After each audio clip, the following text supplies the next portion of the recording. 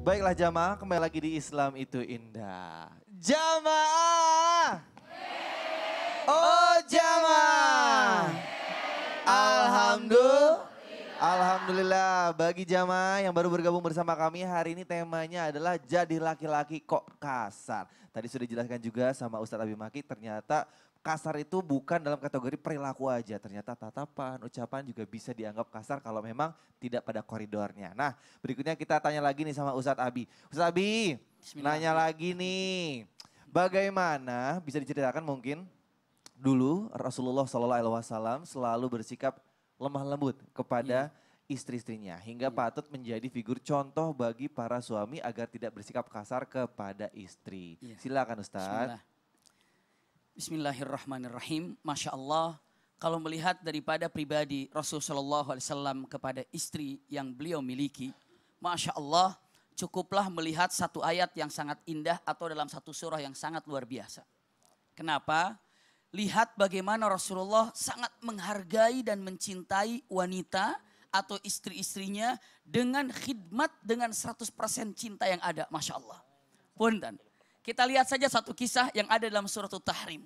Bagaimana Rasulullah demi mencapai tinggi cinta kepada wanita, kepada istrinya sampai rela melakukan sesuatu perbuatan dan Allah menegurnya dengan kata-kata yang indah juga. Punten, mari kita lihat kisah ini. Rasul Shallallahu Alaihi Wasallam kalau selesai sholat asar itu berjalan silaturahim kepada istri-istri beliau. Iya, hanya dengan mengucapkan Assalamualaikum sehat Aisyah, Waalaikumsalam. Assalamualaikum sehat Zainab, Waalaikumsalam sehat. Assalamualaikum ya Ummu Habibah, begitu. Iya, hanya berputar saja. Setelah itu apa? Di mana tempat hari itu gilirannya tinggallah di situ. Tapi saat itu Zainab salah satu daripada istri Rasulullah, begitu Rasulullah datang sudah menyiapkan madu. Dan dia katakan, ya Rasulullah singgahlah sejenak, silakan aku sudah siapkan madu. Rasulullah masuk ke dalam dan meminum madu tersebut agak sedikit lama tinggal di rumahnya Zainab. Padahal bukan bagiannya. Rasulullah ya namanya juga minum madu sejenak lalu keluarlah. Setelah keluar terlihat oleh Hafsah terlihat oleh Siti Aisyah. Lalu mereka berbicara, kenapa Rasulullah singgah di sana lebih lama? Lalu Siti Aisyah dan Hafsah sepakat dengan mengatakan, siapa pun besok yang didatangi oleh Rasulullah, kita diem aja. Maksudnya apa? Nggak usah dikasih senyum. Ataupun mau ditegur bertanya, kenapa engkau minum madu di sana sementara di rumah kami tidak? Subhanallah. Begitu datang pertama kali ke rumah Siti Hafsah, Siti Hafsah wajahnya tidak seperti wajah biasanya. Rasulullah sangat tahu suami melihat wajah istri yang kurang menyenangkan tahu apa tidak?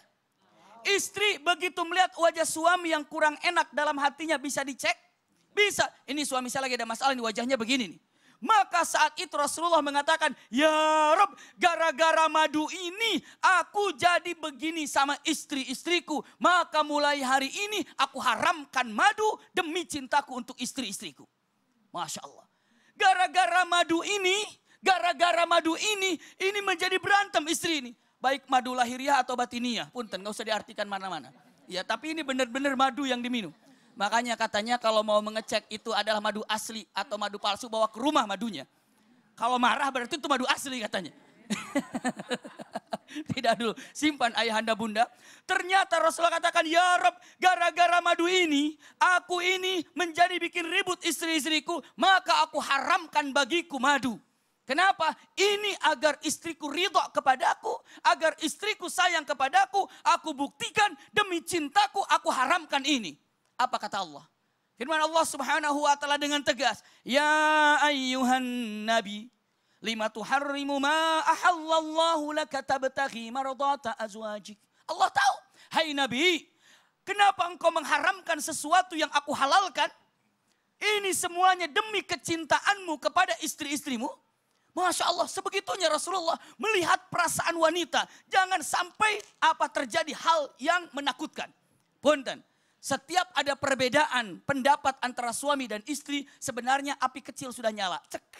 Iya. Maka pandai-pandailah mematikan api itu jangan sampai besar.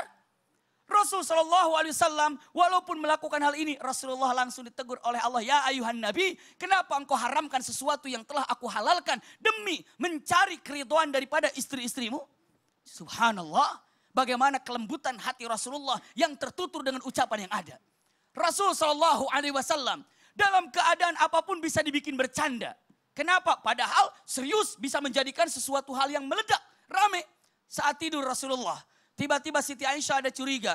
Tangannya cari-cari Rasulullah biasanya di sampingnya karena gelap. Dicari-cari ternyata bek. Kepala Rasulullah kepegang lagi sujud. Rasulullah subhan rabbiyal a'la. Kata Rasulullah. Subhan rabbiyal a'la wa bihamdih. Kata Siti Aisyah, ya Allah aku telah suudzan. Dikira Rasulullah pergi ke mana ternyata Rasulullah sedang sujud. Selesai sujud Rasulullah coba. Kalau mau bertanya, curiga sama aku ya? Hah? Memang kamu curiga terus sama aku. Dasar wanita itu pikirannya nggak begitu. Pikirannya kotor terus. Tidak, tidak. Apa yang disampaikan Rasulullah dengan indah. Aja akas syaitanuk. Datang ya setanmu baru bangun tidur itu. Setan bisa datang sama orang yang bangun tidur begitu ya. Li jauh di Siti Aisyah. Ala min syaitan. Kamu gak punya setan ya? Ada tapi setanku sudah menyerah kepada aku. Kamu tetap akan menjadi orang yang paling kucintai dunia akhirat. Langsung senyum padahal udah curiga banget. Mematikan percikan api yang pertama itu adalah paling indah dalam hubungan keluarga. Mudah-mudahan ada manfaatnya satu inspirasi kisah yang sangat luar biasa terjadi pada Rasulullah dan Siti Aisyah. Tepuk tangan buat Ustaz Abi. Ternyata madu bisa membuat bertengkar ya. Iya. Bukan racun ya. Iya madu bahaya itu. Madu di tangan, racun. Mau madu atau mau racun bu? Mau di madu atau mau diracun? Jangan, jangan, jangan, jangan, jangan bercanda-bercanda ya. Baiklah, mungkin boleh kita undang Ustadz Maulana, Ustadz Cia, Ustadz Cia, Ustazah Lulu juga karena kita akan memberikan kesempatan kepada jamaah di studio yang mau bertanya berhubungan dengan tema kita pagi hari ini. Yuk, yang mau bertanya silakan ini dia waktunya angkat tangannya paling tinggi. Yuk, semuanya angkat aja pada ragu-ragu ya. Tapi tadi ada yang curi start nih sebelah kanan Ustadz Maulana. Nih ibu-ibu ini boleh ya Pak Ustadz ya? Silakan Ibu, Assalamualaikum namanya siapa dari mana Ibu? Assalamualaikum warahmatullahi wabarakatuh. Waalaikumsalam. Nama saya Ibu Yeti Sumiati dari Soraya Bandung. Akan bertanya kepada Ustadz. Eh, begini, ini mah bukan pengalaman saya ya Pak Ustadz. Ini, eh, saya mau tanya, ada teman saya udah 10 tahun menikah tapi kelihatannya bukan kelihatannya ada dia teh ke, sama saya mah suka rumah tangganya teh cekcok berantem terus gitu ya. Tapi nih uh, dia teh bertahan terus diem aja. Mikir katanya teh dia teh kalau mau cerai gimana anak saya? Gitu gimana? Uh, da, uh, dikasih saran sama mertuanya sabar saja. Udah lama sakit hati katanya dia teh suka curhat sama saya gitu ya Pak Ustadz. Gimana saya di rumah tangganya udah 10 tahun tapi saya gini-gini terus. Kata saya juga e, sabarlah mudah-mudahan ada ada Allah meng, me, mengubah wataknya. Tapi dia udah sudah sekarang mah sudah tiga tahun sekarang itu sudah rasanya sudah tahan lagi Ustadz. Karena sikap suaminya gitu terus.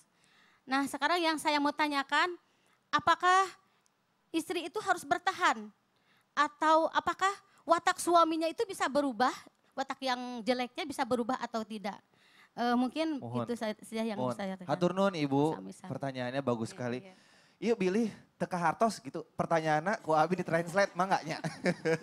jadi gini, jadi pertanyaannya tadi ada yang menikah temennya, awal-awalnya mungkin baik, romantis dan lain-lain. Tahun ketiga mulai nih menunjukkan watak aslinya. Mulai dari kasar, berperilaku nggak baik dan lain-lain. Tapi si istrinya ini sabar terus sampai pertanyaannya sampai kapan dia harus dibeginikan. Terus boleh nggak misalnya nanti misalnya udah habis kesabaran minta misalnya nauzubillah minalik cerai gitu. Silakan Pak Ustadz. Selama masih ada jalan keluar, jangan ambil yang solusi yang terakhir itu.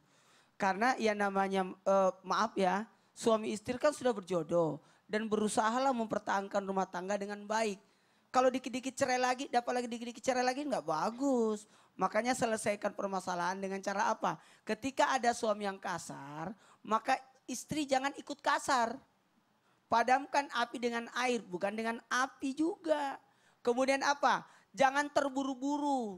Ada namanya usaha kesabaran. Kemudian apa salahnya kalau kita minta maaf? Maaf ya, punten. punten, mungkin ada ada ada masalah gitu. Tanyakan. Jangan jangan memperbaiki orang, tapi memperbaiki dulu diri sendiri. Kenapa suamiku seperti ini? Mungkin penyebabnya saya. Seperti itu, Bu, ya. Oke. Jangan ikut emosi ya. Nah, Ustazah Lulu misalnya dari dalam diri kita udah introspeksi diri, kita udah minta maaf seperti tadi sudah disampaikan oleh Ustadz Maulana. Kira-kira gimana caranya ya biar suaminya ini mungkin sadar kalau dia berperilaku nggak baik? Iya, eh, pertama kita lihat bagaimana bentuk kasarnya. Kalau masih kasar yang memang verbal, insya Allah mudah-mudahan Bunda bisa sabar. Kemudian kita pun juga senantiasa eh, menggali ilmu pengetahuan, ajak suami untuk bisa hadir di pengajian, insya Allah. Kemudian apa? Panggil orang yang ketiga, entah itu apa guru yang disegani atau mungkin orang tuanya untuk bisa memberikan nasihat. Karena memang kadang untuk kita ketika kita memberikan nasihat, oh kok susah ya. Tapi insya Allah mudah-mudahan orang yang ketiga itu lebih mudah. Kemudian senantiasa berdoa dan jangan putus kesabarannya. Senantiasa bersabar selagi hanya dalam verbal ya kasarnya. Belum yang non verbal atau dari segi fisik. Karena banyak resiko yang diambil termasuk anak. Anak itu aset terbesar ketika dia melihat orang tuanya berpisah kemudian berkelahi, eh, itu akan menjadi hal yang buruk baginya, termasuk psikologinya insya Allah. Terima kasih Ustaz Lulu. Ustadz Abimaki ada yang tambahkan mungkin? Iya, bismillahirrahmanirrahim. Pasti ada kekurangan dan kelebihannya. Oh, manusia ini sangat pandai melihat kekurangan apalagi dalam pasangan.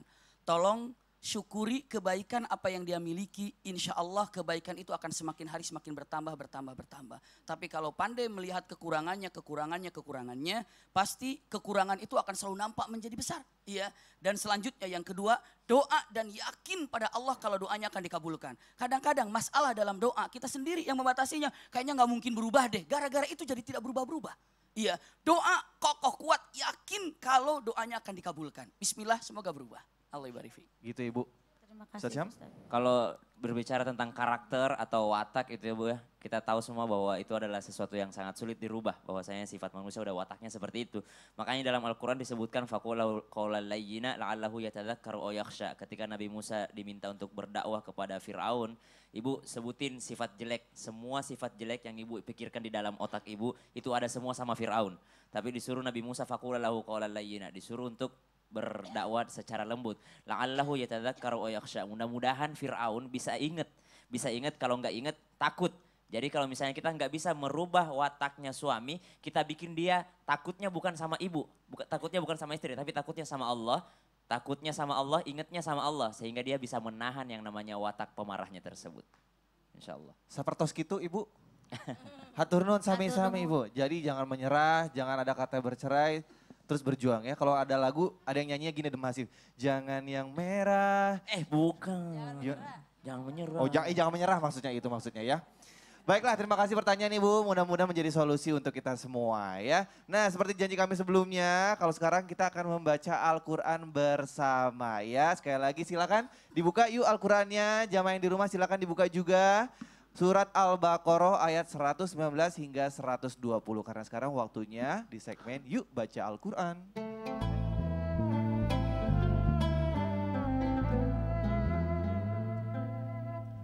Baik, Ustadz Syam, silakan waktu dan tempat kami persilakan. Baik, jemaah yang dimuliakan Allah Subhanahu wa taala, sudah buka Al-Qur'annya, Bu?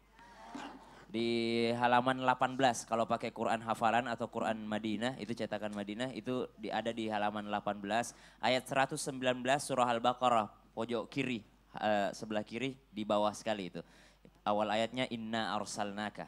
Nah, أعوذ بالله من الشيطان الرجيم أعوذ بالله من الشيطان الرجيم. بسم الله الرحمن الرحيم. بسم الله الرحمن الرحيم. إنا أرسلناك بالحق بشيرا ونذيرا. إنا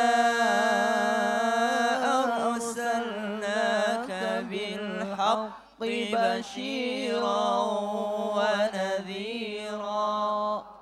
ولا تسأل عن أصحاب الجحيم.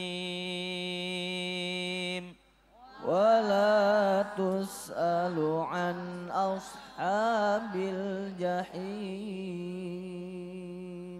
ولن ترضى عنك اليهود ولا النصارى حتى تتبع ملتهم. ولن ترضى عنك اليهود النصارى حتى تتبع ملتهم. قل إن هدى الله هو الهدى. قل إن هدى الله هو الهدى. ولئن اتبعت أهواءهم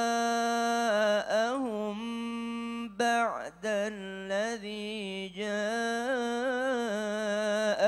من العلم. ولئن اتبعت أهواءهم بعد الذي جاءك من العلم. ما لك من الله من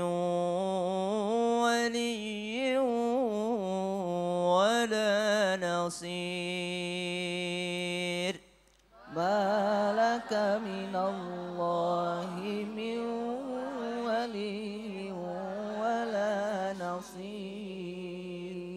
صدق الله العظيم.